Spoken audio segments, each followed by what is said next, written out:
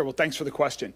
Um, we are not providing, you know, the names of the finalists, as I mentioned, for lo- lots of different reasons. Uh, we wanted to have the, the best possible candidates to choose from from around the country. And based on the feedback that I got from the search firm and others that had conducted the search, that searched similar searches before, it was clear that the way to ensure that we had the best and most candidates and the most diverse pool of candidates broadly defined across the entire country uh, was to go forth with the process that we did. And so I'm very comfortable with the, um, with the quality of the individuals that we considered, in addition to Chief Gwinn-Villaroel And what was the second part of your question? Oh, the DOJ, that's right.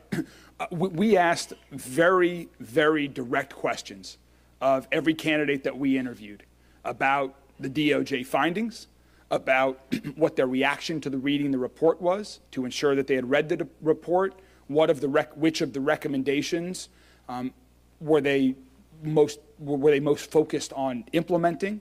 What were their ideas to implement some of the reforms? So we had robust dialogue with every candidate that we interviewed about that, um, and every one of the candidates uh, knew, you know, was not that was not a hindrance to them continuing this. They saw this as an opportunity, an opportunity to make meaningful reform and improvement. Hold on one second.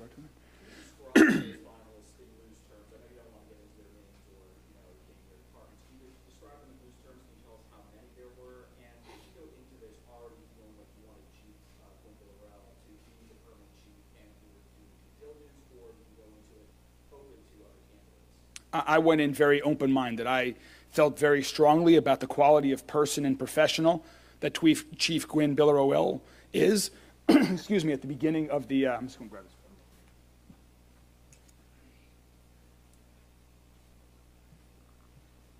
Um, I, I, felt very confident about the, the quality of the individual that she is going in, but I certainly went in incredibly open minded. That would have been unfair to the city and to every individual that was being considered for the position. We had 20 applicants for the position. we had 20 applicants for the position. Um, we interviewed four of those individuals. Um, and I think the furthest that I will go is to say these are individuals who were very interested in the position. Um, they were, in, in, many cases, individuals that had um, were seeking to be the chief of a, of a police department.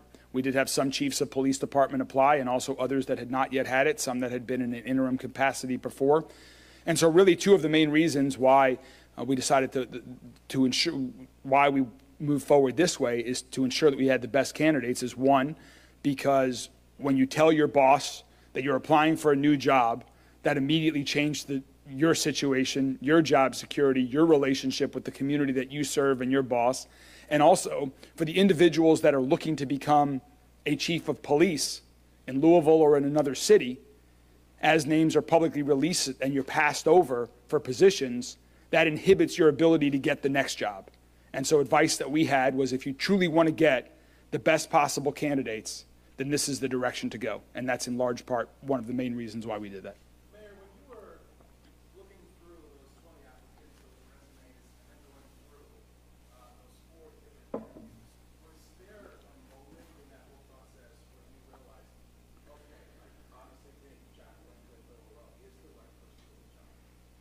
I mean, there's no doubt that all, all the individuals knew that we, I'd stated publicly since the beginning um, that Chief Gwinn-Villaroel was going to be a candidate for the position. Um, and I think everyone that applied knew that there was a strong internal candidate. So yes, I mean, definitely I was, I was um, considering candidates, also knowing what I knew about Jackie. And, um, but I went in very open-minded with no predetermination of, of how this search would end. We, we interviewed very um, capable professionals who are serving their communities well, but for all the reasons I just stated, um, I believe I made the right decision, and Louisville has the right chief of police. Roberto?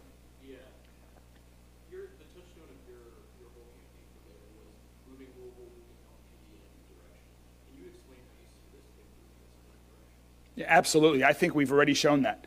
I think um, under Chief Gwinn-Villaroel leadership as interim chief and with the work of her colleagues across the department and our entire administration, we have shown that.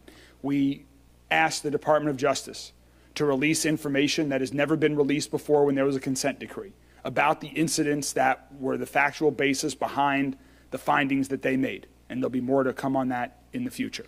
Uh, we, in, we worked to get a memorandum of understanding with the Office of Inspector General. And we're going to continue to work, as you've just seen even in recent weeks, that when there are challenges to implementing that, so the Office of Inspector General can get the information that they need, that we are going to be pushing that. And Chief Gwinn-Villaroel was right there pushing for that to happen, to provide body cam access footage uh, to the Office of Inspector General. We are releasing body cam footage on officer-involved incidents faster that's, than, than has been done before. And candidly, I still think there's even more room for improvement.